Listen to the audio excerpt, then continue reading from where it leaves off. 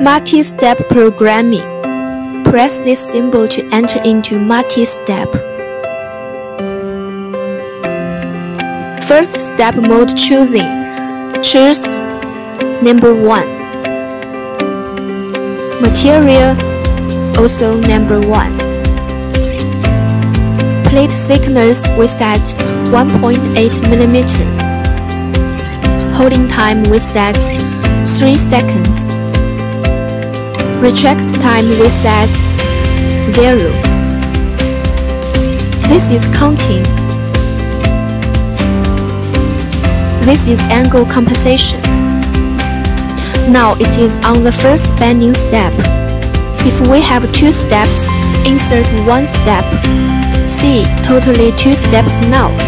First and second. Now we only need one, so delete it. This is bending angle. Now we want 90 degree, so put in 90. Back edge distance we set 30 millimeter.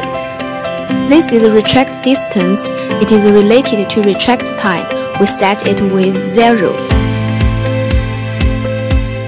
This is mechanical compensation.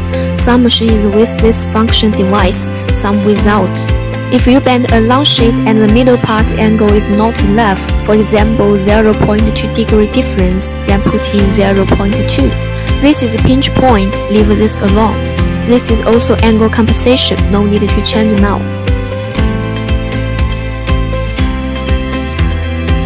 This is cycle key. For example, your first bending need to be 2 times, then set number 2, it will bend 2 times for the same bending but we keep it one time for now.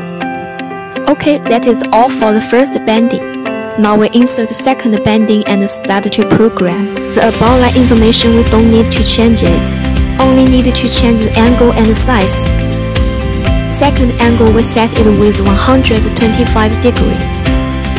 X size 40 millimeter. The remaining dimensions are adjusted according to the actual folded workpiece. Press running. Very important thing, before running you have to make sure the program is on the first bending step, but now it is the second bending step. Press stop button, change to the first step, running again. See, it is on the first bending, which is correct.